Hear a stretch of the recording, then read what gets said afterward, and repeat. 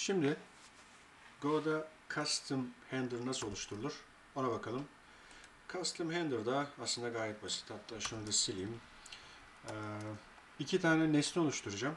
Bu nesneler bildiğiniz gibi type ile oluşturulur Go'da. Ne olsun bu? Bunların aslında ne olduğu önemli değil. Biz metotları, bu temel Go bilgisi ama metotları istediğimiz e, tip ile tanımlanan istediğimiz şeye metod ekleyebiliyoruz herhangi bir şeye. Burada Iron Man diyorum. Integer tipinde ve type olarak da bir başka örnek daha ekleyeceğim buna. Nedir bu? Wolverine mesela. Wolverine bu da integer tipinde. Bu tipin ne olduğu önemli değil. Bunu herhangi bir şey yapabilirsiniz. Bu hani farklı örnek e, bakış açısı e, kazandırmak için yapıyorum bunu. Ve sonrasında da Iron Man'e bir metod ekliyorum. Bu nesneye ne olsun bu? X olsun. Iron Man X bunun adı serve http sonra res http nokta response writer ikinci parametresi r http nokta request ee, bu da tamam io write string dedim ilk kısımda rest diyorum Mr. Iron. Bu kadar. Kaydediyorum bunu. Yukarıya net HTTP ekledi. IO'yu da ekledi. Hızlı bir şekilde. Ee, bunun aynısını Wolverine için de yapacağız burada. Bu da X olsun ve tip olarak da Wolverine olsun. Ee, geri kalan şurası hariç her yer ayrı. Aynı. Wolverine diyorum. Genel yapı hazır, nesneler hazır burada. Ee, şunu aşağıya da taşıyabilirsiniz. Şu şekilde. Main'i daha yukarıda tutmak için. Ne yapacağız burada? Var e, E Iron Man diyorum. Var W Wolverine diyorum burada. Burada e, bir farklı yöntem daha kullanacağız. Bu da max kullanımı, mux kullanımı. Ee, onu da şöyle yapıyoruz. Aslında diğer daha önce yaptığımız yöntemle aynı. E, mantık olarak aynı. Sadece şurada new serve max diyerek bu nesneyi oluşturup mux adında bir nesne üzerinden daha kısa bir şekilde kullanmayı sağlıyor. Yani her seferinde mesela şöyle handle func vesaire e, bu şekilde HTTP üzerinden yazmak yerine bir kere max'ı oluşturup max üzerinden şöyle yazdırmak daha kolay olabiliyor. Handle yazıyorum şimdi de.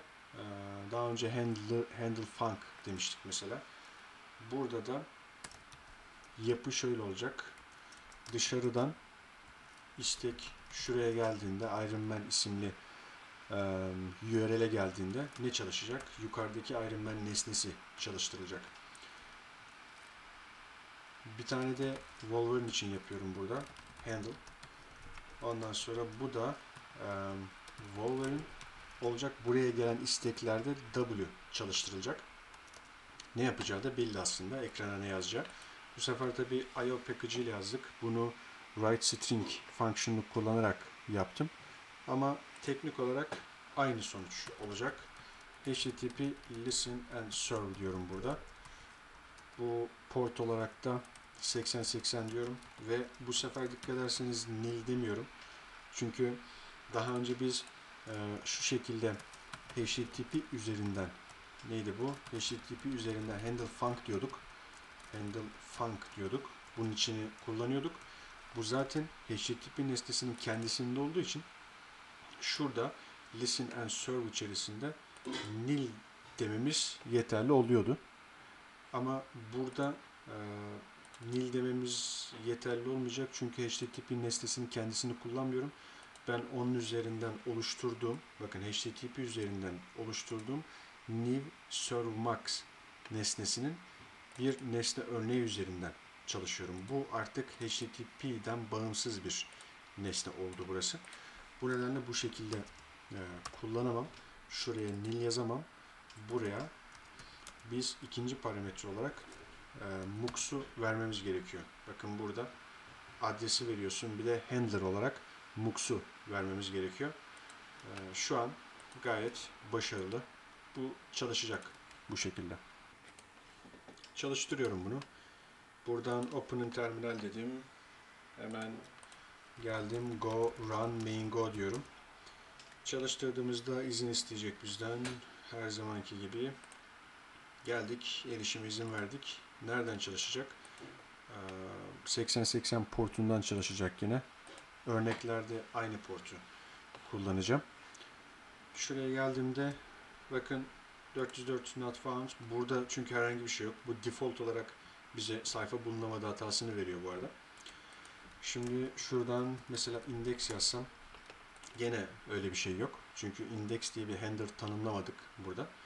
Ama mesela Iron Man yazıyorum. Mr. Iron dedi. Wolverine yazıyorum. Mr. Wolverine dedi. Bu kadar. Burada ne yaptık? Aslında biz oluşturduğumuz nesneleri oluşturduğumuz nesneleri bunlara atadık ve onların içerisindeki serve HTTP metotları dikkat ederseniz aynı isimde bunlar ama bunlar farklı nesne nesnelere ait olduğu için herhangi bir karışıklık olmuyor, hata vermiyor. Peki şurada mesela diyelim ki ben bu serve HTTP adını değiştirsem ne olur? Geldim buraya. HTTP argument handler Iron Man doesn't implement HTTP handle. Bakın missing missing serve HTTP metot diyor. Yani serve HTTP metot kafadan uydurulmuş bir isim değil. Şimdi tekrar kaydettiğimde bakın hata gitti. Gelin burada yapalım aynısını. Bakın Wolverine gitti. Kendisi arka planda kontrol ediyor. Bu eee serve HTTP implement etmiş mi etmemiş mi? Şimdi implement ettiyse şuradaki gibi bunu siz bir handler olarak kullanabilirsiniz şu nesneyi. Yani Iron Man'i burada handler olarak gönderebilirsin. Çünkü onun içerisinde serve HTTP'yi arayacak.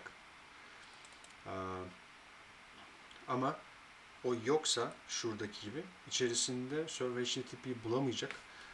Bu nedenle de bu sıradan tamamen ilkel bir nesneden başka bir şey değil.